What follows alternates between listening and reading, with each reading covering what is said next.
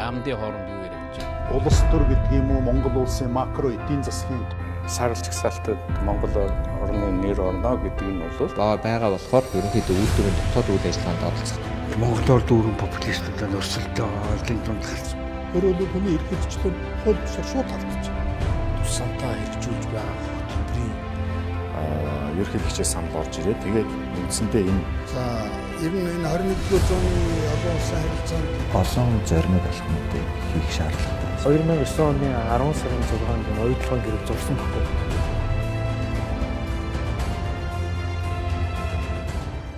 Зөвчтэй та бүхнийхээ өнөөдрийн амгалан айлтгая. Эрх өнцөг манай нэвтрүүлгийн ээлж дугаар үгээр эхэлж байна. Би ингээд энэ удаагийнхаа зочныг танилцуулъя. Хатагтай мөнх цэцэг улсын их хурлын гишүүн доктор профессор Монгол ардын намын удирдах зөвлөлийн гишүүн ийм ирхэн байна. За бидний өрлөө хүлээж авч манай студид ирсэн танд баярлалаа. За танд бас баярлалаа. Өдрийн мэнд хүргэе. Баярлалаа. Тэгээд энэ удаа гишүүнтэй одоо бид хоёр энэ улсын их хурл дээр хилцэгдэж байгаа зарим хуулийн төслүүдийн талаар ярилцгаар ингэж урьж ирүүлсэн байгаа. Тэгээд энэ дээр бол яг өөрийнх нь голцлон ажиллаж байгаа энэ шүглүүлэгчийн тухай хууль байгаа. Тэрэн дээр голцлон ярилцсан тэгээ үлдсэн цагт нь одоо энэ бусад хуулийн төслүүд одоо ямар шатндаа явна энэ тухай ярилцах юм аа. Ингээд хуулиа ярилцсандаа орё. За шүглүүлэгчийн эрх зүйн байдлын тухай хууль. За эндээс эхлэе хоёлаа. Тэ.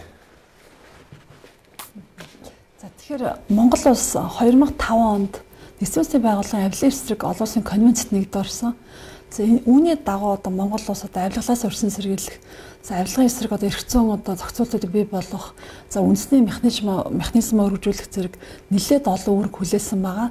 За энэ үүргүүдийн нэг нь одоо конвенцийн 33 дахь зүйлд авилгалын гэмт хэргийн талаар одоо мэдээлсэн сайн дурын үндсэн дээр одоо баримт нотлохоор мэдээлсэн иргэдийг шудраг бус халдлагаас хамгаалах ийм дотоодын одоо зүйн механизм бий болох үүрэгтэй байгаа.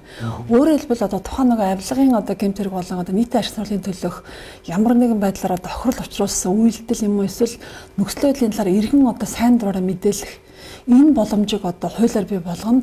За тэгээд одоо нөгөө тухайн иргэнийг иргэн юм одоо хуулийн этгээдийг хамгаалахын үүрэг бол Монгол улс одоо нин дээр авч ирдүү шаардлагатай байгаа.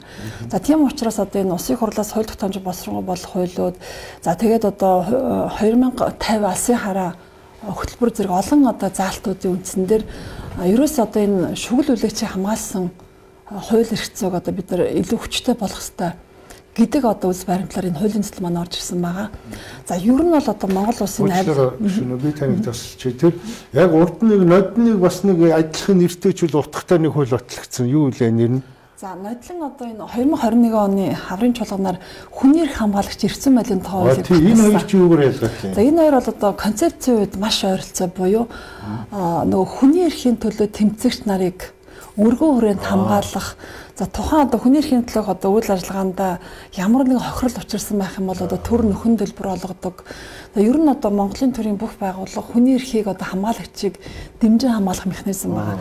За энэ одоо шүүлтгүүлэгчийн үйл болохоор ерөөсөн байгууллагын дотоодод байна уу эсвэл дүүрэг сумбаг хороонд байна уу за эсвэл одоо тодорхой нэг албан тушаалтны хууль бус үйл ажиллагааг илэрхийлэх энэ тухай мэдээлэх буюу нэлээд өргөн хүрээтэй байгаа. За ер нь бол жишээлбэл энэ Америк нэгдсэн улс за тэгээд энэ Европын практикт бол шүглүүлэгч гэдэг бол хөдөлмөрийн харьцаанд их одоо дугарч үлээдэг. За жишээлбэл одоо нөгөө тухайн одоо компани ажилтан байж болж байна. Тухайн компани одоо нийтийн эрүүл мэнд байна, байгаль орчин байна уу? Ямар нэгэн байдлаар одоо нөгөө бүх нийтийн байгаль орчин эрүүл мэндэд одоо ийм хор хөнөр учруулах уц бараа бүтээтгүүл үйлдвэрлэх эсвэл ийм үйлдэл одоо хийж болцсошгүй байгааг тухайн байгууллага дотроосоо мэдээж болж байна. А тэгвэл тэр иргэн бол яг тухайн үед одоо шөгдүүлэгч болно. За жишээлбэл нэг олон улсын судалгаар энэ ер нь хувийн компаниудаа хэм заллингийн гэмт хэргийн бараг одоо 40 орчим хувь нь дотроосоо мэдээлсэн байдаг. Өөрөөр хэлбэл ийм одоо заллингийн гэмтэр үйлдэгдэх гэж байна. За эсвэл үйлдэлсэн байна. Энэ тухай одоо баримт нотлог тухайн иргэн юм эсвэл тухайн компани ажилтан мэдээлдэг. За тэгэхээр нөө шүүгдүүлэгч гэдэг бол нэлээд өргөн хүрээтэй одоо нийтийн сайн сонгомжоо дуурах нь байна. За бидний одоо сайн мэдээр одоо өнгөрсөн жил тэр нөгөө эмээлтдэх махны үйлдвэрүүдтэй асуудал нэгдсэн. Мах босруулах одоо махыг одоо хадгалах тэр стандартын горим алдсан гэдэг. За тэр энэ тухайн мэдээллийг манай одоо хэвлэл мэдээллийн байгууллагууд авах мэдээлж байгаа юм. Зөв хэрэг за тухайн мэдээлэл тэр байгууллагын буюу одоо тухайн дээр мах босруулах үйлдвэрийн ч гэдэг юм ажилтан эсвэл тэр байгаа иргэн бас мэдээлж болох нь байна. За энэ тохиолдолд одоо Монголын төр хамгаалтанд аваад тухайн иргэнийг одоо нууцлаад хэрвээ одоо эрүүл мэнд болон одоо ямар нэгэн байдлаар одоо ажил төрөлд нь одоо хохирол учирсан байвал тэрийг одоо нөхөн төлбөр олгож өгнө. За дээрэс нь одоо нөгөө усад учруулсан хохирлыг одоо эргэн төлсөн. Одоо нөгөө буруутай этгээд юм уу? Буруутай одоо төрийн албан тушаалтаа. За мөн одоо торгуулийн үндсэн дээр усад одоо учруулж хохирлыг бардуулж тохиолдолд мөнгөн дүнгийн одоо тодорхой хуваар буюу нэг 4-өөс 15 орчим хуваар нөгөө шүгэл үлээж үн зөв мэдээлэл дамжуулсан иргэнэ төр урамшуулах нь байна. За энэ бол олон улсын жишээ байна. Энэ зүгээр одоо надад юу гэж бодогдож байна гэхээр ийм шүлгүүлүүлэгч нэрийн дор ч гэдгийг юм уу одоо энэ хуучны нөгөө социалист нийгэм бид нар нэг бие биенээ нэг маттдаг тийм ээ нах яамд матж бариулдаг мөрдүүлдэг хориулдаг энэ юунаас юугаар ялгаатай юм За энэ бол их чухал асуудал. Яг энэ хуулийн төсөл маань ингээд өргөн баригдаад хилцэгсээ шийдэх үед улсын хурлын нэлээд олон гишүүн бас ийм байр суурь илэрхийлж байсан. Аа шүгэл үлээ буюу нийтийн сайн сайхны төлөө шудраг асыг хэрхэмлсэн энэ байдалтай одоо үйл хэргийг нөгөө талаас нь буюу материалын ашиг сонж олох зорилгоор за эсвэл одоо хин нэг нэг одоо нэр хүндийг утаах сэвтэх зорилгоор матах үйлдэл хэрхэн ялах вэ? Энийг ялгаж өгөхгүй бол энэ хууль маань ерөөсөө хуучны нийгмийн одоо матач шиг дэмцүүл болчих гээд байна гэх. Тэгэхээр хуулийн төсөл дээр одоо яг өргөн барьсан төсөл дээр манай ажлын хэсэг ажиллаж байна. За иргэний нийгмийн байгууллагууд, хэвлэл мэдээллийн байгууллагууд, за хараад бас хуульчдын бас санал зөвлөмжүүдийг аваад ажиллаж байна. А тэгэхээр ерөөсөө олон улсын практикаар бол анх одоо тэр нөгөө нийгэмд болохгүй байгаа, бүтэхгүй байгаа зүйл гэдэг юм уу? Эсвэл нийтийн одоо энэ аюулгүй байдал хор хохирол учруулах хууц энэ нөхцөл байдлыг мэдээлэх үйл явцад өөрөө сайн санааны үндсэн дээр үнэн бодистой байна гэдгээрээ нөгөө шүүлүүлэгчийн гол одоо нөгөө тодорхойлт нь орж ирж байгаа юм. Тэрнээс биш одоо ашиг олох зорилгоор байна уу? За энэ гимтэрийг ингээд э, тэдэн тэрбум ч гэдэг тэдэн сая төгрөгийн гимтэрэг байгаа. Би илрүүлэх юм бол одоо 4% ашиг авах нэ. 100 сая төгрөг гэдэг юм. Ийм байдлаар материалын ашиг хонжоо эсвэл одоо хин нэгний нэр төрийг одоо сэвтэх зорилгоор үйлдсэн одоо хэрэгээс ялганаа. Тийм учраас энэ дээр нөгөө хууль хяналтын байгууллага буюу хүний эрхийн үндэсний комисс, цагдаагийн ерхий газар, ерхий прокурор шудраг урьдчилан хэрэгжийн төлөө газар гээд одоо нөгөө төрийн эрх бүрхийн мэдээлэл хүлээж авах байгууллагууд маань энэ дээр ажиллаад энэ одоо иргэн болон одоо хуулийн этгээдийн өгсөн мэдээлэл нь яг харахгүй одоо нийтийн сайн сайхны төлөө за эсвэл одоо нийтийн сайн сайханд тохирол учрахаас сэргийлсэн мэдээл байна гэдгийг ялган тогтооно. За тэгээ энийг ч гэсэн одоо нэг тухайн шүүгүүлүүлэгч маань өөрөө бас тайлбарлана. А тэгвэл хэрэг хүсэм бол нэг шүүгүүлүүлэгчийг нууцлж 3 дахь юм өөрийн төлөөс хуулийн этгээдээр дамжуул мэдээлэл өгөх боломжтой. За ер нь ингээд энэ өндөр дүнтэй авлан гэмтэргүүд за ер нь одоо нийтийн эрх ашиг хүнцэн ностой асуудлаар мэдээлэгчийг өөрийг нь хамгаалах хэрэгтэй юм. За бид нарт ингээд өнгөрсөн жилүүдэд бас энэ байгаль орчны асуудлуудаар нутгийн одоо иргэдийн хөдөлгөөнүүд уулархан том компаниудын хор нэлээд одоо асуудал нэгдэжсэн. Нөгөө байгаль хамгаалагчид, эрдэс хамгаалагч лавг сүмбэрл асны бас одоо эмгэлтэй хэрэг байна цагдаагийн байгууллага болгоод хуулийн хэлтийн бол энэ дээр сайн ажиллаж чадаагүй А тэгээд амь нас нь одоо амиа орсон гэдэг үнсээр бол хэрэг хаагдсан байна.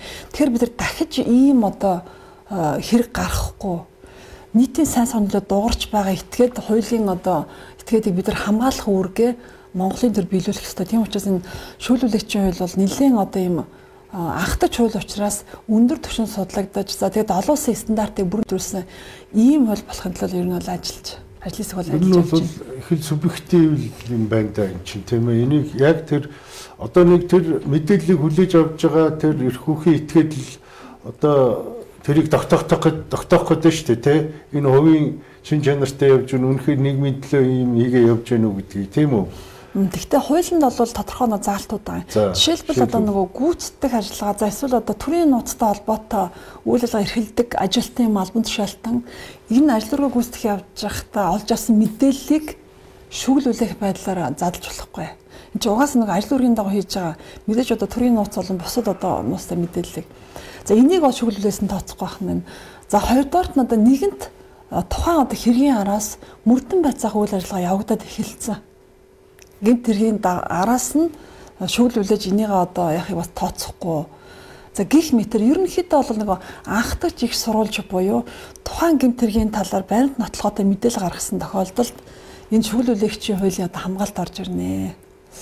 За тэгээд ер нь бол ингээд Америк нэгдсэн улсын практикаас харахад яг хөдөлмөрийн харьцаан дотор их шүглүүлээдэг байгууллагын ажилтнууд хоорондоо эсвэл тухайн байгууллагаас хийж байгаа бараа бүтээгдэхүүн үйлчилгээ нь нийтээр хашиж одоо хохирол учруулсан. Жишээлбэл одоо дэлхийд нэлээд олон одоо компани тухайлбал одоо автомашины үйлдвэрүүдийн нөгөө согогтой одоо тооровсон систем байна. Эсвэл одоо нөгөө тухайн одоо автомашины үйлдвэр хийд ангийн зөрчлийг тухайн компани ажилтнууд дотроосоо мэдээлж тэр одоо нийтийн олон сая хүний одоо эрүүл мэндийн аюулгүй байдлыг замын хөдөлгөөний аюулгүй байдлыг хангасан жишээ нь зөндөө байна. За тэгэхээр улс орнууд бол яг энэ шүгэл үлэгчийг бол өргөн үрээтэй хамгаалдаг. А мөн одоо шүгэл үлэгч гэж хинбэ гэдгийг энийг бас өргөн үрээтэй тодорхойлж ирээд хин ч байж болох нь байна.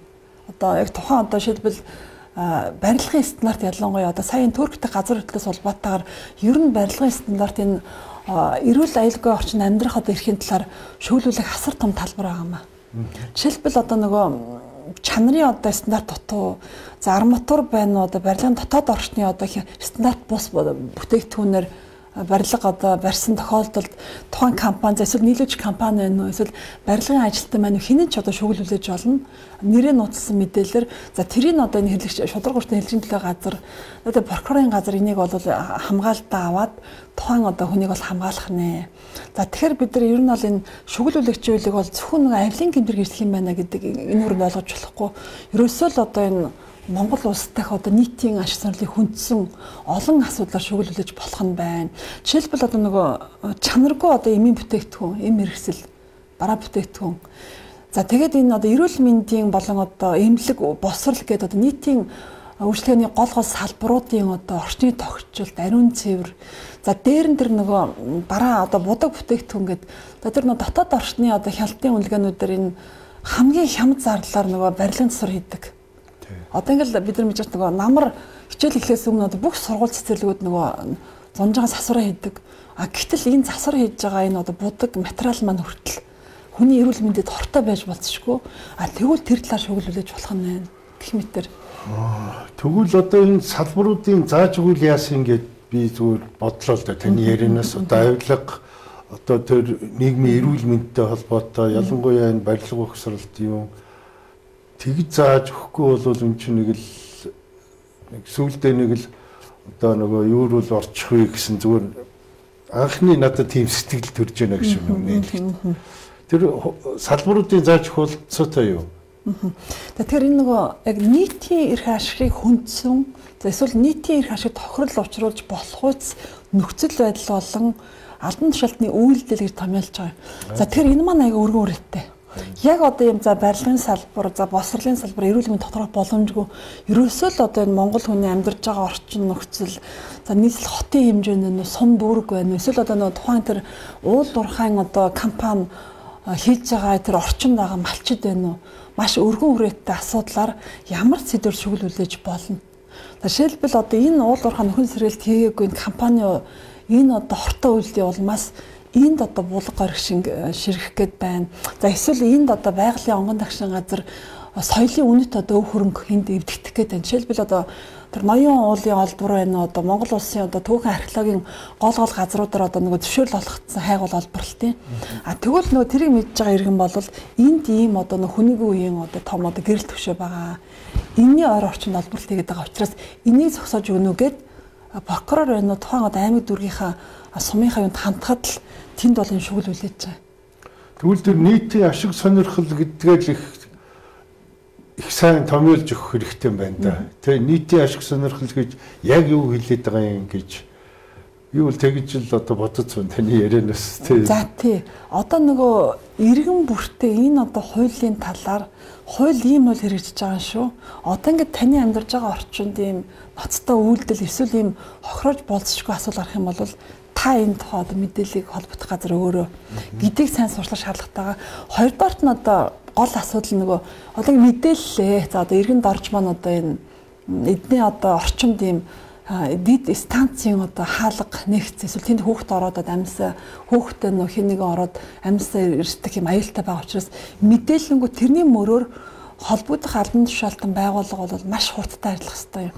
За хуулийн төсөлд бол 30 хоногийн хугацаатай тэрийг яаралтай шалгаад мэдээлэгчийн мөрөөр авсан арга хэмжээг эргээд одоо нөгөө шүүгүүлээс үүндээ танилцуулна. За тэгээд энд ингээд хянан шалах үйл явцдаа нөгөө бүх одоо холбогдох албан тушаалтан тэр одоо нөгөө газар дээр нь очиж одоо юугаа хийж байгаа штэ мөрдөн масаалт хийгээ шалгаад тэр нөхцөлийг аюулгүй болгох За хэрвээ одоо тэр байны үндснэр хин нэгэн буруутай итгэж байгаа бол тэрийг одоо хариулахад татах механизм бол тэр дотор явнаа. Одоо шүүл үлээж байгаа иргэн бол хуулийн төслөөр бол одоо бичгээр бичгээр болон цахимаар өргөдлөө гаргаж болно гэж байгаа.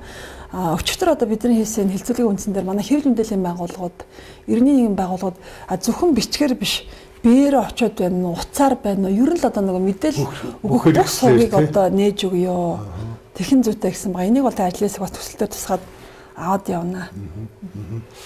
Тий тэгэд түрүүн та хэлсэн нөгөө гүйцэтгэх ажиллагааны шугамар одоо олж авсан мэдээлэл энд хамаарахгүй гэж. Шилбэл ийм тохиолдол одоо гарч болцсгүй юм шиг санагдлаа надад. Юу гэхээр тэр хүн мөрдөгч байжгаад нэг одоо эргийг мөрдөж байгаа нэг мэдээлэл олгоод авлаа. Тэрийгээ тэр хэрэгтэй тусахгүйгээр нэг хамаатандаа ч юм уу хилээд тэ дүүдээ хилээд За тэр нөхрийг очиод матчвал хилчхүүл нэг тэр цаанаа наад чи нэг одоо нэлээд хэдэн тэрбум төгрөгийн юмтай юм байна. Хоёулаа хувааж авъя ч гэдэг юм уу. Тийм юм гарах нөхцөл байж болох уу? За тэр энэ дээр бол яг одоо нөгөө хууль хяналтын байгууллага буюу цайдагийн ерхий газар прокурор тухайн нөгөө иргэний ирүүлсэн одоо иргэн мань хуулиэд гэдэг ирүүлсэн мэдээллийн мөрөөр үйл явуулахтаа тогтооно.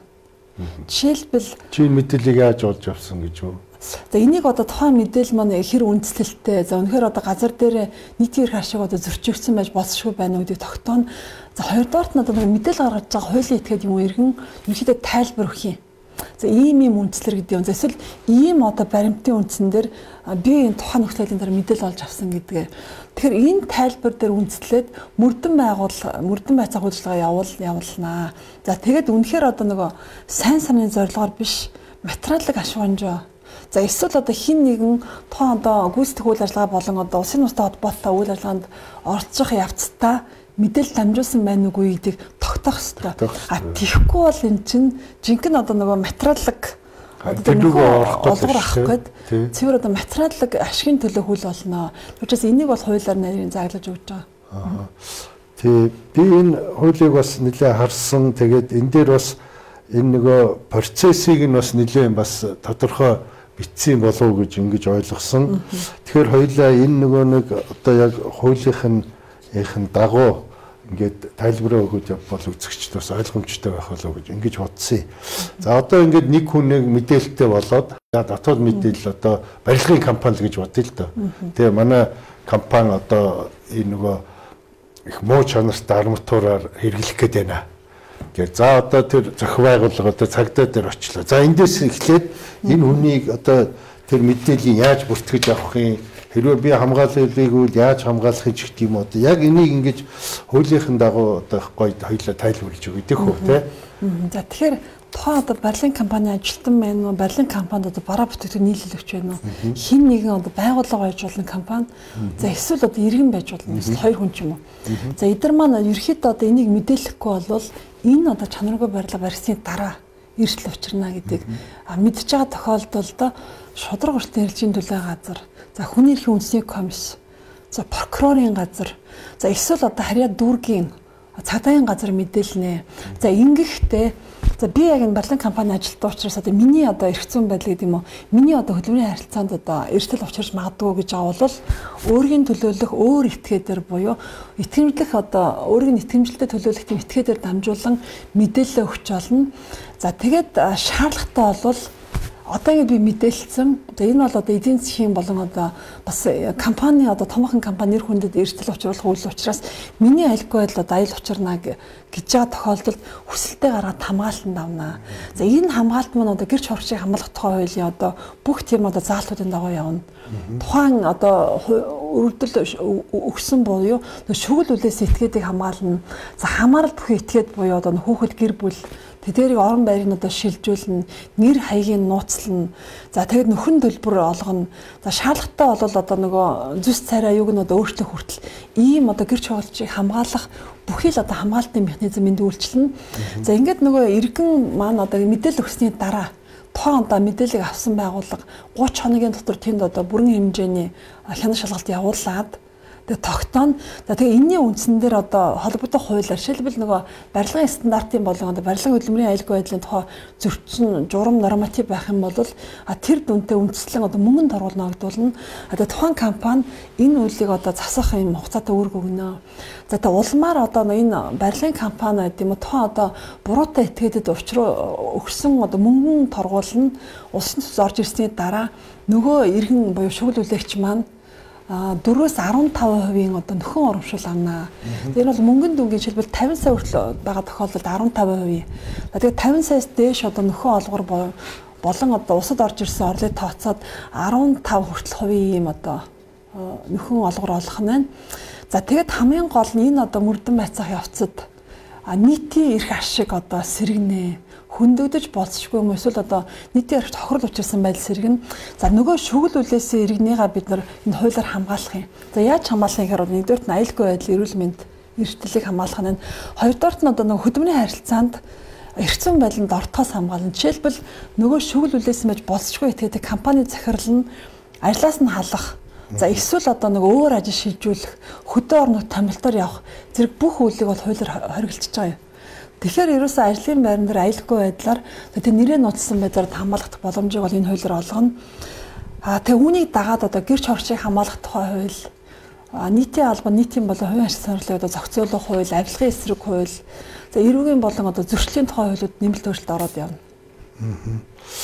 Тий. За тэгээд энэ дээр одоо бас иргэдийн маань энэ шүглүүлэгчдийн гол сонирхоод байгаа энэ нөгөө мөнгө урамшуул орлох нэг зүйл заалт энэ дээр орцсон байгаа тий.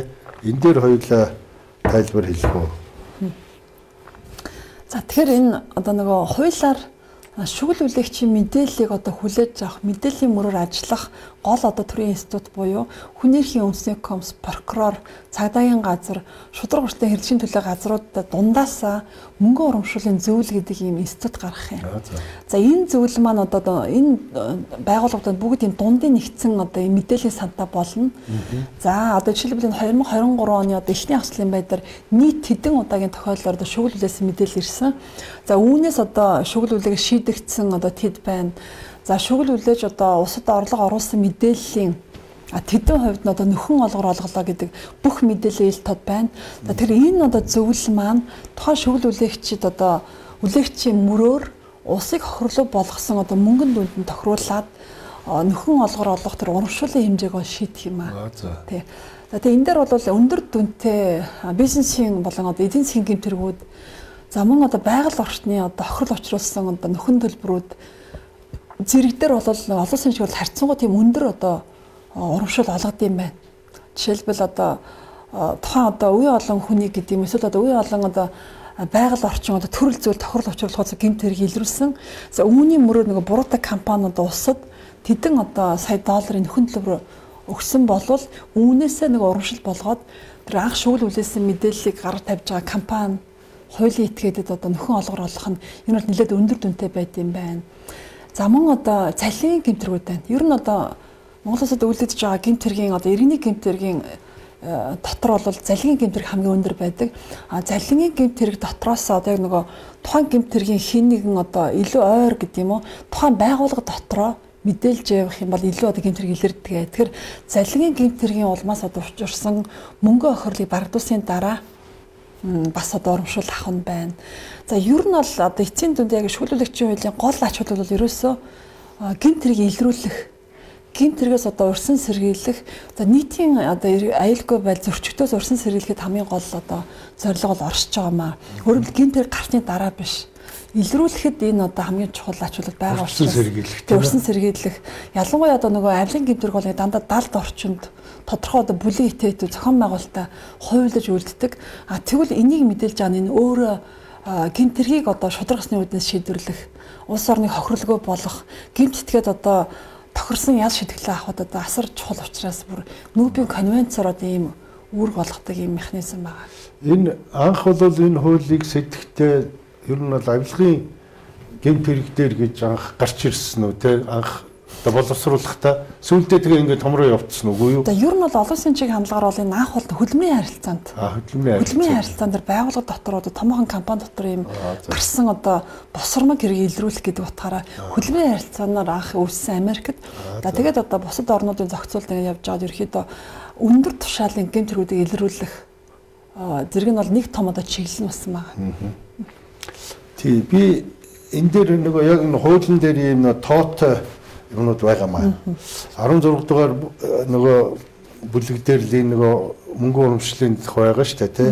Тэгэхээр би нэг үзэгчтэй бас хэлээд өгч үү гэж бодлоо. За мөнгө урам- урамшууллын зөвлөл нь энэ хуулийн 6-гийн 1 заасан орлогод хамаарах үнийн дүнг дараах хувь хэмжээгээр тооцсон мөнгөн урамшуул олгоно гэж байна. За дөрвийн нэгд нь 50 сая хүртэл төгрөгний 15%-ийг. Дөрвийн хоёрт нь 50 саяас 250 сая хүртэл төгрөгний 10 сая төгрөг дээр 50 сая төгрөгөөс давсан үнийн дүнгийн 12%-ийг. За дөрвийн гуравт нь 250 саяас 1 тэрбум хүртэл төгрөгийн 36 сая төгрөг дээр 250 сая төгрөгөөс давсан дүнгийн 10%-ийг дөрвийн дөрөвдөө 1 тэрбумаас 2 тэрбум хүртэл төгрөгийн 113 сая төгрөг дээр 1 тэрбум төгрөгөөс давсан дүнгийн 6%-ийг М, дөрвийн тав дээр 2 тэрбум түүнээс дээш төгрөгийн 173 сая төгрөг дээр 2 тэрбум төгрөгөөс давсан дүнгийн 4%-ийг мөнгөн урамшууллын хэмжээ нь 100 мянган төгрөгөөс 1 1 тэрбум 500 сая төгрөг хүртэл байна гэж ингэж дээд доод хэмжээг нь бас заагаад өгсөн юм байна шүү дээ энэ төр тийм ээ. Ямар ч тохиолдолд одоо мөнгө урамшуул 1.5 тэрбумаас үл итерхгүй байх юм байна гэж. Авилгын эсрэг хуулийн 4.1 заасан ит албан үүргээ гүйцэтгэх явцдаа олж авсан мэдээллээр шүглүүлсэн тохиолдолд энэ хуулийн 4-ийн 16-гийн 4-т заасан мөнгө урамшууллын хэмжээний 50%-ийг тооцож олгоно. Эн чинь юу вэ эн чинь? Албан үүргээ гүйцэтгэж яваад олсон мэдээллээрээ бас шүглүүлж болох юм уу энэ чинь? Наа чи нөгөө төрийн өндөр албан тушаалтан буюу одоо улсын хурлын гишүүд, үйлс засаглалын одоо гишүүд, за тэгээд аймаг дүүрэг нийслэлийн эрдэнэ төвийн хурлын гишүүд тэгээд авилгын эсрэг хуулийн дөрвийн нэг заасан одоо хөрөнгө орлогын мэдүүлэг мэдүүлдэг этгээдүүд Өндөр албан тушаалттай гэдэг үү? хөрөнгө орлогын мэдүүлэг нийтийн албан тушаалтны хувьд бол мөн одоо гэмт хэргийн эсрэг одоо шүглүүлж болно. А тэгтээ тэдэрт олох мөнгө урамшлын хэмжээ бол хоёр дахин бага байхаар зааж өгсөн байгаа. Харин одоо нэг гүйцэтгэх үйл ажиллагаа болон төрийн нууцтай холбоотой үйл ажиллагаанд оролцсон ажилтнуудын хувьд бол тухайн одоо үйл ажиллагааны явцад олсон мэдээллийг шүглүүлэх гэдэг их байдлаар одоо хэрэгжилж болохгүй. Чинь- ялгаатай. Албан үүргээ гүйцэтгэх явцдаа олж авсан мэдээлэл гэж байна шүү дээ. Энд чинь тэгэхээр чинь нэг гүйцэтгэх ажлаас бусад Бусдыг хэлж Аа, байгаа. шилбэл одоо нөгөө нэг аймгийн одоо Эрдэнэ төвийн хурлын гишүүн байлаа. Аа, за. Аймгийн засаг дарга байна уу? За эсвэл одоо нөгөө бусад тухайн аймгийн одоо бусад Эрдэнэ хурлын одоо гишүүнтэй холбоотой авилгын мэдээлэл. За нөгөө зөв бусаар одоо газар олгосон байна уу? Энэ мэдээллийг нөгөө Эрдэнэ хурлын гишүүн илчилж болно.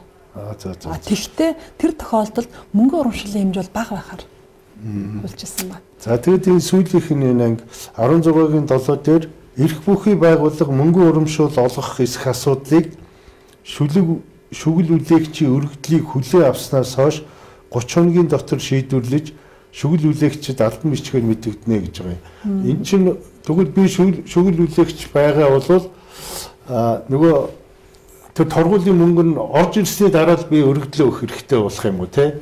Одоо юу яаж нөгөө хуулиар бол 30 хоногийн дотор нөгөө шүлгийн шалгана шүү дээ, шалгаад шийдээ тий. За тэгээд а, тухайн одоо авилгалын гэмт хэрэгээс албан тушаалтны одоо хөрөнгө орлогыг хураасан. Жишээлбэл үнэлтгөө өргөцсөн тухай мэдээлэл өглөө. Үнэхээр үнэлтгөө өргөцсөн гэдэг нь одоо тогтоогдоод хураана. За эсвэл одоо тухайн нэг компани нийтийн эрх ашигт одоо хор хөнөөл учруулсан гэдгээр торгуул өглөө. За тэгвэл тэр торгосон мөнгө нь усад орж ирнэ. Тэр энэ одоо мөнгөнд дүн тооцно. А тэгвэл хуулиар бол 30 хоногийн хугацаатай гэж байна. Тийм байна. Тэгэхээр эн чинь А за одоо хүний өмчөд талд нь хураан байна. Энд чинь бүгдөө шүүхийн шийдвэртэй явна тийм ээ. Тэгэхээр эн чинь за аливаа хүн байгууллага мэдээж давуу заалт нь одоо манай өнөөдрийн практик бол эн чинь гурван шатны шүүгч одоо ингээд 2 3 жил болоод сунжрал явдаг штеп. Тийм биз дээ тий.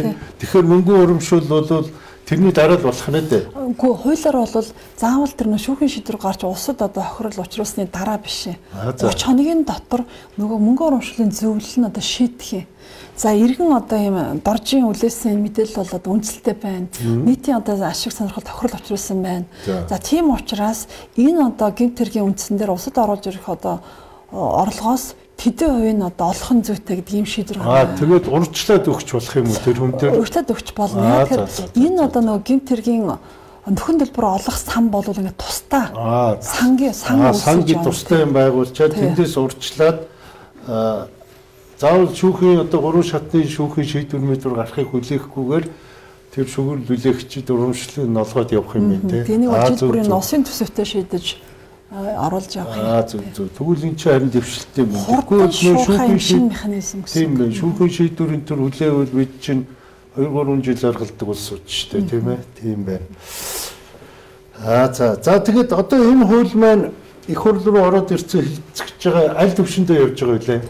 За одоо ажлын хэсэг Усын хурлын тойл зүйн байнгын орон дээр гарсан ажлын хэсэг одоо миний байхлаад Усын хурлын гишүүн цогтоод төр сандаг очир Улсын хурлын Жэс Сүхбаатар Ганбат нарын гишүүдийн бүрэлдэхүүнтэй ажиллаж байгаа.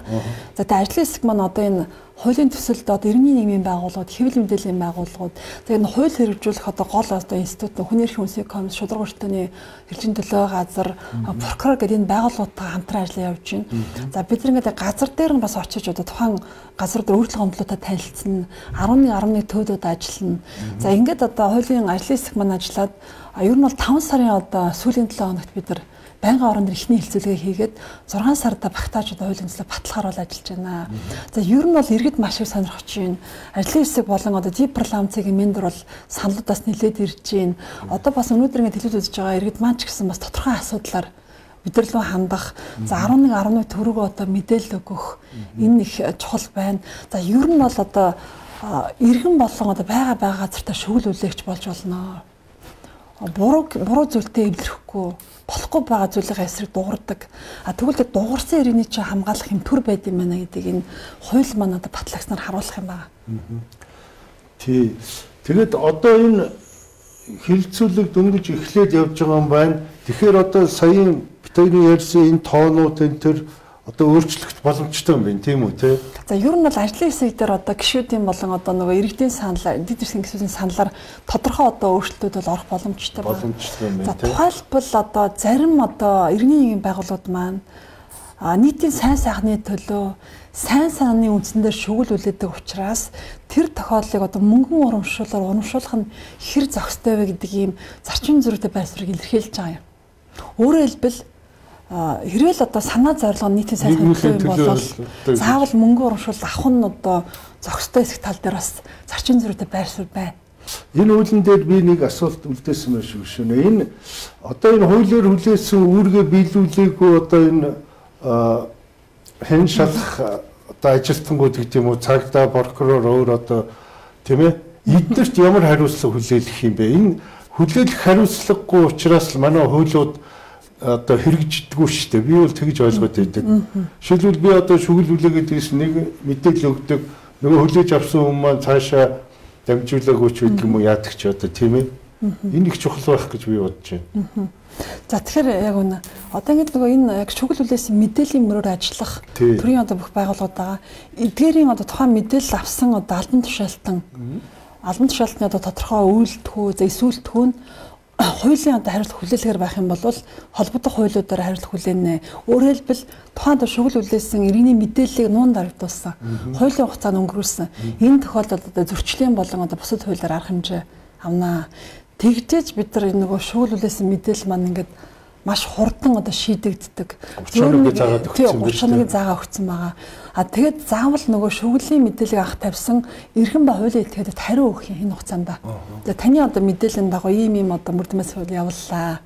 За эсвэл энэ одоо таны өгсөн мэдээлэл маань ингээд нийтийн сайн сайхны төлөө гэдэг нь тогтоогдоогүй байна. Эсвэл энэ таны өгсөн мэдээлэл бол урд өмнө хэвлэлээр гарсан за эсвэл яг энэ хэрэг дээр мөрдөн байцаа харилцаа нэгэнт явуулж байгаа гэдэг тогтоодлооч гэдэг юм уу хариу бол өгсөй энийг бол хуульчилсан. Тэгээ эрүүгийн болон зөрчлийн хуулиар тухайн албан тушаалтаа хэрвээ одоо эсвэлтгөө юм уу үйлдэлтгөө нь хууль зөрчсөн бол арга хэмжээ ахуулна. Аа. За баярлалаа.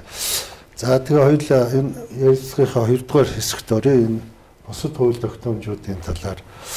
За одоо энэ хамгийн том хүлээлт энэ үндсэн хуулийн нэмэлт өөрчлөлт явах уугүй юу гэсэн энэ иргэдийн дунд тийм хүлээлт байна. Энд дээр танаа намын байр суурь одоо танаа нам шийдэх гэдэг нь шүү дээ. Одоо танаа удирдах зөвлөж гэдэг юм уу? Одоо улс төрийнхөө шийдвэрийг гаргасан. Энд дээр ер нь ямар яриатай байна? За тэгэхээр улсын хурлын төрийн байгуулалтын байнгын ороо 1570-ны донд одоо төрийн төрийн одоо үндсөөлт нэмэлтөд оруулах хэсэг асуудлаар зөвлөлдөх одоо санал асуу явуулсан. За энэ дотор бол иргэд маань одоо хэд хэдэн асуудлаар тухайлбал баялагын сангийн асуудлаар за парламентын төлөөллийг одоо төлөөлөх чадвар нэмэгдүүлэх асуудлаар за мөн одоо эрүүл мэнд хүний эрхийн тодорхой асуудлаар одоо үндсүүл нэмтүрт хийх нь зүйтэй гэж үтсэн. За тийм учраас одоо төрийн байгуулалтын байнгын ороо бол энэ зөвлөлтийг санал асуулаас гаргасан зөвлөмжийн дагуу бас холбогдох хуулиудаар ажиллаж байна. За энэ зөвлөлтийг санал асуулгын нэг одоо бас нэг чухал үр дүн бол 2019 оны үндсүүл нэмэлт өөрчлөлийн дагуу батлагдан гарахад хуулиудыг илүү хурдтай батлах шаардлагатай гэж үтсэн. Жишээлбэл одоо улс төрийн намын тухай хууль за бусад одоо хуулиуд байна. Төрийн албан агч тухай хууль гэдэг. Тэгээ эдгээр дээр бол яг одоо улсын хурл одоо ажиллаж төрийн намын хуулиуд ерхэл шүүргэн барих гэж байна.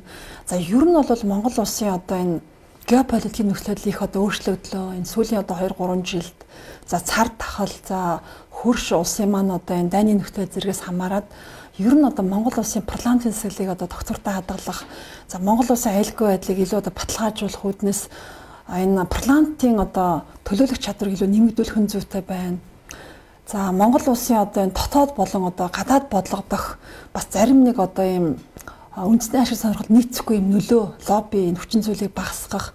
За ер нь бид нар одоо Монгол улсын үндэсний аюулгүй байдлыг ашиг үүднээс парламентын цэглэл улам одоо хүчтэй болох шаардлага байна. За энэ дээр одоо судлаачид үнцөлийн эрхцүүчдийн манаас олон жил ингэ зөвлөж зааж ирсэн гол зөвлөмжүүдийн нэг нь бол энэ парламентын одоо төлөөллийг нэмэгдүүлэх нь чухлаа гэж үздэг. За миний хувьд бол энэ Монгол улс бол ингээ өргөн удам газар нутагтаа хүн ам цөөтөө За тийм учраас одоо манай парламент бол ямар нэгэн байдлаар одоо газар нутгийн төлөөллийг бол заавал төлөөлж явах хэрэгтэй. Жишээлбэл одоо нөө хязгаар нутгууд, аслагдсан бүс нутгууд дахь тэнд одоо парламентын одоо төлөөл байх хэрэгтэй газар нутгаа. За хоёрдугаарт нь одоо парламент учраас улс орон дах одоо хүчний бодит харьцаа.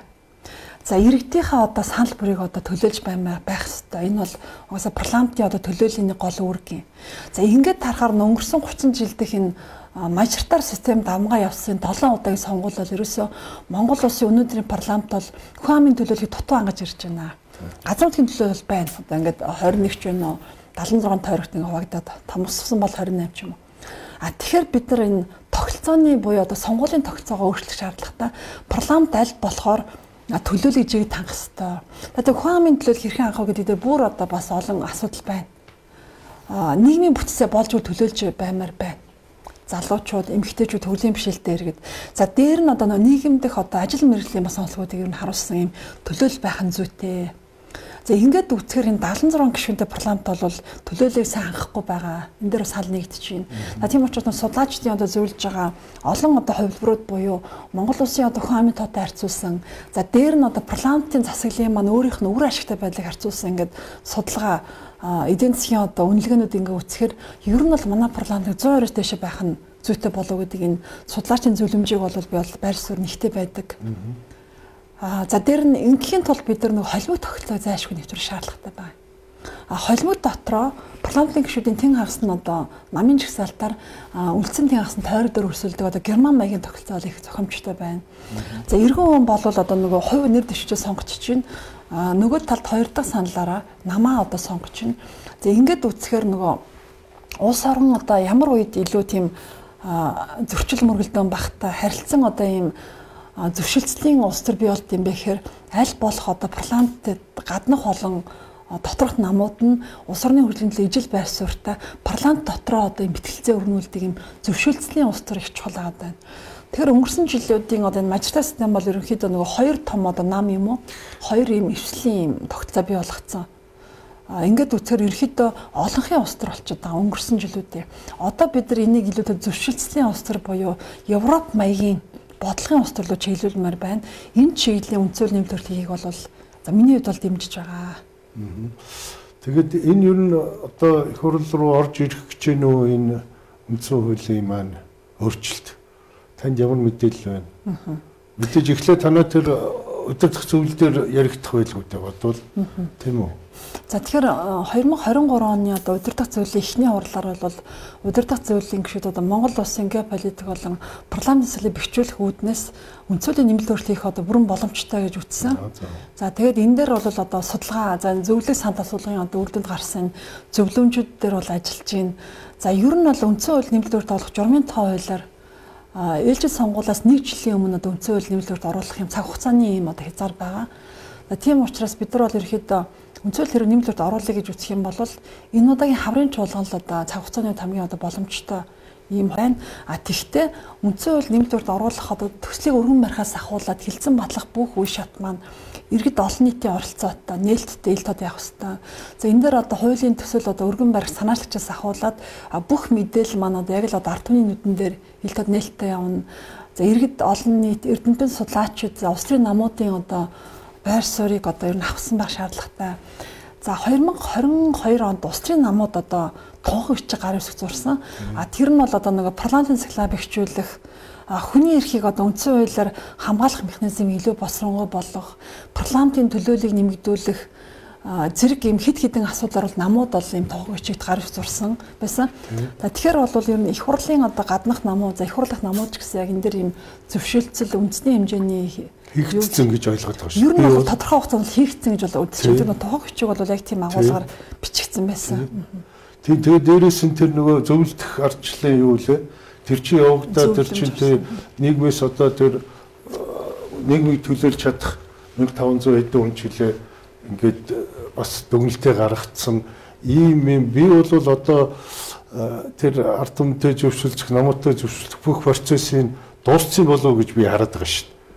Зөв. Тэг ерөнхийдөө бол энэ 1570 он буюу одоо Монголын нийгмийн одоо бүх нийгмийн бүтцийг төлөөлсөн юм бүх респондент буюу одоо хүмүүсийг сонгож аваад санхүү төврийн аргаар тэдгээрийн одоо сал зөвлөмждөр үндэслээд ерөнхийдөө одоо гол гол асуудлаар бас юм зарчмын зөрчил хөрсөн гэж ойлгож болно.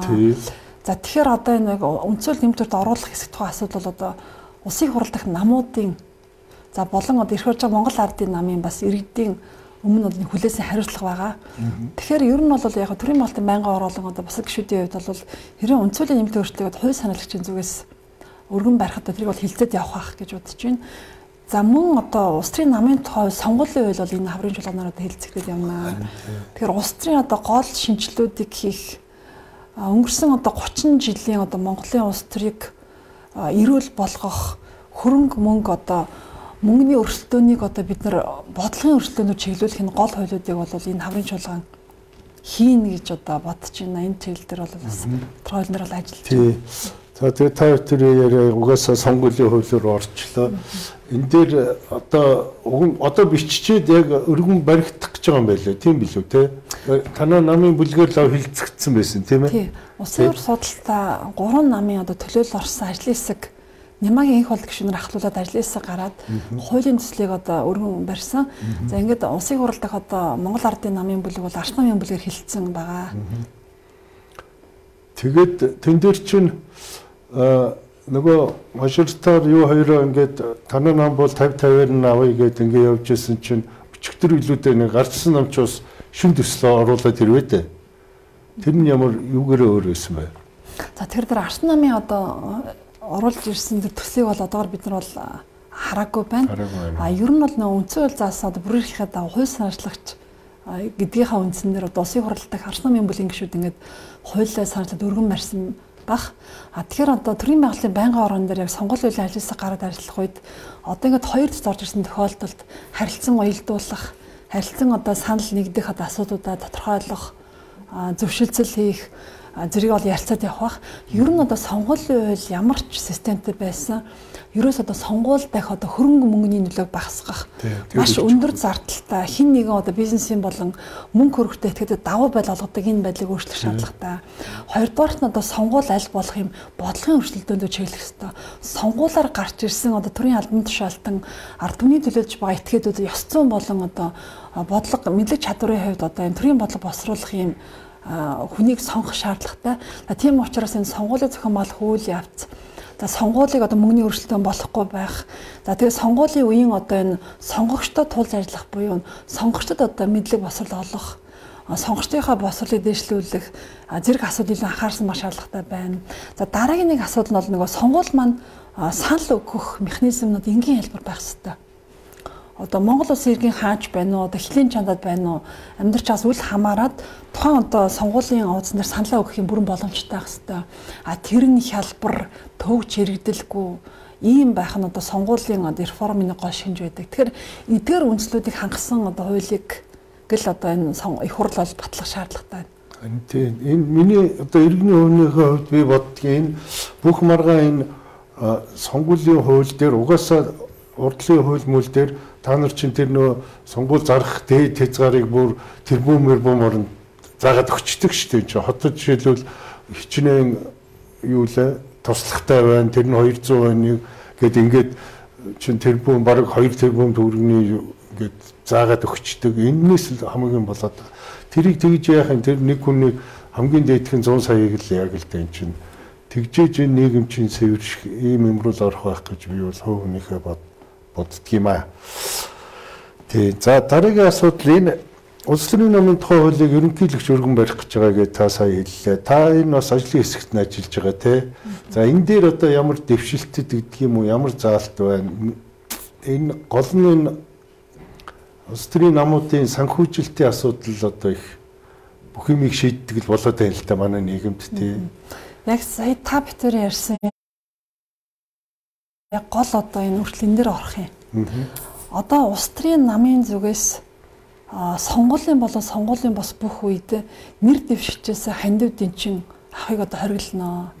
Ингэжээч нөгөө мөнгөтэй эсвэл одоо тодорхой одоо бүлэглэлүүд тухайн улс төрийн намаас нэр дэвших эсвэл намын шийдвэр гарах үйлчилгээнд хүчлэн нөлөөллийг зогсооно. Ингэжээч бид нар нөгөө бодлогын улс төрч буюу яг одоо улс орны төлөө бодлого босгох чадвартай юм улс төрчийг сонгох нэ. 2020 онд Дарсан нам нэр дэвшигч нараас одоо дөрвөн үе шаттай байна одоо 100 сая төгрөгийн дэмчин нэгсэн байгаа. Ингээд одоо нөгөө бизнесийн бус салбарын бодлого босруулах ялангуяа одоо залуу улс төрт орж ирч чадаагүй байх жишээтэй. Тэр цаашдаа бид нар энэ Монголын улс төрийг одоо хөрөн мөнгөний өрсөлдөөн биш бодлогын өртөнд болохын тулд нэгдүгээр энэ улс төрийн нам болон сонгуулийн бүх хөдөлгөөнд дах мөнгөний нөлөөг багасгах заалтуудыг бол оруулж байна. За хоёрдугаарт нь одоо энэ санхүүш нийлт тодох хэрэгтэй. 2019 оны үндсүүлийн нэмэлт өөрчлөлтийн одоо 19 штрих 1 2 3 дугаар зүйл дээр улс төрийн намын одоо гол э, реформын үндсийг тол тавьсан байгаа. Дотоод арчилтаа санхүүш нийлт тод байна. За нам одоо үндэсний хэмжээнд бодлогын үйлчлэл явуулна гэдэг. За тэгэхээр Одоо ингээд бид нар бодохоор өнөөдөр бол 36 нам одоо дээжгүй бүртгэлтэй байна. За гэтэл эдгээр намууд дотроос бүр 90 он байна. 92 онд бүртгүүлээд нэг ч одоо хурлаа хийгээгүй анхны бүртгэсэн дарга нь хэвээрээ байдаг. Гишүүдэд тайлангаа тавиагүй. За эсвэл одоо тухайн нам нам зөвхөн нэг одоо компани хэмжээнд үйлчлэг явуулдаг. Тэгэхээр иргэд маань компани нам халаас нам гэдэг. Өөрөөр хэлбэл намууд маань одоо хариуцлагагүй, дотоод арчлахгүй, хинээс нь тодорхойгүй. За эсвэл одоо ил нэг компани одоо ерөөсөө цэвэр одоо бизнесийн юуны нам болчиход байгаа. Тэгэхээр намуудыг хариуцлагатай болгох, намд үүрэг ноогдуулах, хэрэгцээ одоо тухайн нам одоо санхүүгийн болон одоо бусад хууль зөрчил үйлчлэг явуулах юм бол тэр намыг татан буулгадаг. За эсвэл одоо эргэцсэн статусыг одоо бууруулдаг ийм санкцуудыг буюу ийм одоо хариуцлагыг энэ намын тухай хуулинд зааж оруулж байгаа. За ер нь нам бол одоо нөгөө асар том бүтэцтэй гişүүдийн тооны араас хөөцөлддөг ийм биш бодлогын нам болох хэрэгтэй юм. За энэ маань ямар очтой гэхээр нөгөө бодлого босрол түүний төлөө үйлгээ явуулдаг, гişүүдтэй болон иргэдтэй улс төрийн босрол сургалт хийдэг, аа намд одоо мэдлэг босролтой хүмүүсээ бэлддэг. За тэгээ энийг нь одоо төрөөс дэмжиж төрөөс олгож байгаа одоо байгаа нэг санхүүжилтийг нь бодлогын судалгаанд нь бодлогын үйл ажиллагаанд нь оруулах байдлаар ингээд зарцуулалтыг нарийн зааглаж өгнө. Тэр санхүүжилтийг ил болгох гэдгээр дээр одоо ямар заалт оруулахаар ил болчиход байгаа юм. Та тэр дээр нэг одоо яг яг юугээ бичигдсэн байна тэр дээр. За тэгэхээр хуулийн төслөөр бол одоо ерөөсөө намын одоо бүх орлого зарлага үйл хөдлөх болон бусад хөрөнгө намын зээл намын гишүүдийн татвар гээд санхүүгийн бүх иж бүрдлийг жилд 2 удаа сонгуулийн төв байгууллагуудаа тайлагнана. За ингээд тайлгныхаа өмнө одоо аудитын байгууллагаар одоо хяналт оруулаад аудитын хувьд ямар нэг алдаа зөрчилгүй байх хэрэгтэй. За сонгуулийн төв байган тухайн намуудын одоо тайланг олон нийтэд ил зарлана. За тайлан дээр ямар нэг одоо сахуугийн алдаа зөрчил байна уу? Хандив авсан байгаа тохиолдолд хандивыг одоо нуун дардуулсан байна уу? За эсвэл одоо санаадгүй санаандгүй юм уу? Сансргүй алдаа гаргасан байна уу гэдгийг нэгтлэн шалгана. Хэрэг за одоо тухайн нам ийм цагуугийн алдаа зөрчлөө байх юм бол эргээгээд нөгөө тайлангаа засах хугацааг бол намд олох нь байна. За ингээд энэ эргээд олгосон хугацааны дотор нам бол сангийн тайлангаа хянан нагтлаад цаашаа хөргүүлнэ. Тэгээ сонгуулийн төв байгууллага энэ одоо саналыг тайлан үндэслээд тухайн нам хэрвээ одоо улсын хур судалтай болон улсын хурлын сонгуулиуд тодорхой хэмжээний одоо санал авсан тохиолдолд төрөөс олох санхүүжилтийг нь тавина. Одоо бол ямар нэг болцол нөхцөлгүйгээр ерөөсөө улсын хурл судал авсан нам байгаа тохиолдолд санхүүжилт авч байгаа юм. А цаашдаа бол санхүүжилтийнхаа тайлан дээр үндэслээд санхүүжилт авдаг болно. За дээрэс нь одоо намын хандивлагч нар бүгд одоо ил болох нь байна. Одоо бол ингээд нөгөө сонгуулийн үед нэр дэвших нар сонгуулийн суртахад дуусахаас өмнө за мөн одоо суртахад дуусны дараагт хоёр удаа тайлангаа өгдөг. За энэ тайлан бол одоо бүрэн хангалттай биш ээ. За зарим намуудын хувьд тайлан ээж бүрдэл дутуу. За дээрэс нь одоо таны хэлсэнчлэнээр тухайн тойрог дээр одоо дэд зарцуулах дэд хэмжээ гэдэг заалт маань өөрөө тэр хэмжээний мөнгийг зарцуулах юм одоо аргагүй байдалд хүрэж байгаа маа. Тийм учраас улсын намын тухай хуулинд сонгуулийн үеийн бүх зардлыг одоо бууруулах механизмыг бол нэлээд тусгасан байгаа. Тухайлбал одоо сонгуульд ажиллаж байгаа ухуулагч нар сайн боо юм байна гэж хэлж байна. Хэлбэл намаа дэмжиж намын үндсэл үз баримтлал ажилласан тохиолдолд олон сүнжиг жишгээр ямар нэг цалин авахгүй За энэ бол одоо сонгуулийн зардыг бууруулах гол механизм байна. За дээр нь одоо нөгөө сонгуулийн үеийн нэг том зардал байгаа шүү дээ. Одоо нөгөө ухуулах сурталчилгааны самбарууд. За дээрэс нь одоо энэ нөгөө телевизээр явуулж байгаа төлбөртэй нэвтрүүлгүүд буюу хэвлэл мэдээллийн зардал. За сүүлийн одоо 3 сонгуул дараалаад нөө цахим зарцуулах зардал. Төлбөртэй одоо мэдээллүүдийг Facebook пэйжүүдээр нэвтрүүлэх гээд энэ болгон дээр зохицуултыг хийж дэд хэмжээг нарийн заалах шаардлагатай байна. Тий. Энэ хувийн дансаар одоо хандив мандив аваад трийг нууцаар зарцуулаад байдаг юм байдаг. Энийг яаж хаасан бэ? За тэгэхээр нам бол одоо энэ сахуугийн нэг данстай байна. А ялангуяа сонгуулийн үеийн одоо нэг данс руу тухайн одоо иргэн юм уу хуулийн этгээд одоо хандив хийнэ. Жишээлбэл одоо тухайн намаас нэр дэвшиж байгаа нэг одоо мундаг одоо зүтгэлтнийг дэмжиж байгаа иргэн болвол тухайн одоо хүний данс руу биш намын данс руу их боломж байна. Энэ дээр бол яг ажлын дээр яригдчих байна. Намын нэгдсэн дансруу хандив их үү эсвэл одоо нэр дэвшигт нөгөө доржийн дээр дансруу их үү гэдэг дээр бол зарчмын нэлээд олон асуудал яригдчих байна. Жишээлбэл одоо нөө иргэн одоо гэдэг юм хувь хүн хуулийн этгээд дээд хэмжээ буюу хуулиар заагсан одоо дэд хэмжээний дотор л одоо хандив өгнө. А тэгвэл нэг жил тэр нь одоо хандив дэд хэмжээ тэд байныг нарийн заагалж байна. За хоёрдугаарт нь одоо тухайн сонгуулийн үед бол иргэдээс ирүүлсэн хандив зөвхөн намын нэг дансаар явах зүйтэй гэдэг ийм байр суурь байна. А тийхгүй бол таны эсэжлэн олон дасаар мөнгө орж ирдэг. А дараа нь тэр нэг тайлагнах болон одоо энэ дэр одоо санхүүгийн одоо дансны маргаан зуршил гарах магадaltaй. Тийм учраас сонгуулийн үед бол зөвхөн нэг дансаар явах зүйтэй байгаа. А сонгуулийн бус жилүүдэд нам одоо нөгөө харьяа байгууллагуудынхаа бүх дансыг дансын гарсан гүйлгээ мэдээллийг бүгдийг нэгтгэж сонгуулийн байгууллагад уламжлалнаа. Төв данстайгаа цуг. За та бүхэнд нэг 2 минут байна. Энэ сүүлийн асуултаа нэг богинохын хариулахыг хичээгээрэй. Энэ боловсролын тухай хууль гэж одоо энэ манай хэн сайд болонгуудаа инх хамгаалалтын сайд болонгуудаа нэлээд хөвчтэй илцүүлэн илцүүлэг юу тааш тэр зүүн дөрөд ажиллаж байгаа шүү дээ. Нэлээд явж байгаа. Тэгээ бүр унтарчлаа байхгүй болчлоо. Энэ удаа ажилчтандаа явна. За энэ босрлын хууль маань унтраг байгаа. Унтраг байгаа. Хилцүүлгийг бид нар маш олон төвшөндөө хийгээд явсан. Хөдөө орон нутаг За хотын дүүргүүд за мөн одоо тодорхой асуудлаар жишээлбэл нөгөө Кембрижийн хөтөлбөр байх нь зөв юм уу? Эсвэл нийтийн босрыг дэмжих юм уу? Ашигын бос босрал байх уу? Ашигын бос босрал байх уу? За английн босралыг хэрхэн нэршлүүлэх гээд энэ тал дээр ингээ бид нар маш олон хэлцүүлгүүд хийгээд явсан. За хамгийн сүүл одоо сарын өмнө бас энэ ашигын ба ашигын бос босралын асуудлаар багш нар болон одоо хувийн сургуулийн төлөөллүүд төрийн хэмжээ сургуулийн төлөөлөлт хэлцүүлэг хийсэн. Одоо ингээд босрлын хууль маань ерхий хууль маань ажлын хэсэг дээр зарчим зүйтэй саналуудаа хураагаад явцсан.